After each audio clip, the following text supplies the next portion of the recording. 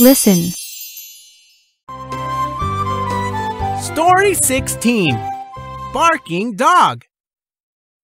Grandpa likes to make us laugh. Sometimes he asks a question. We listen and try to answer. Today, he said, Our dog barks too much in the front yard. How can we stop him from barking in the front yard? We thought about it, but we could not think of an answer. Grandpa smiled. I know, it's easy. Put the dog in the backyard. Bark, bark. Read aloud.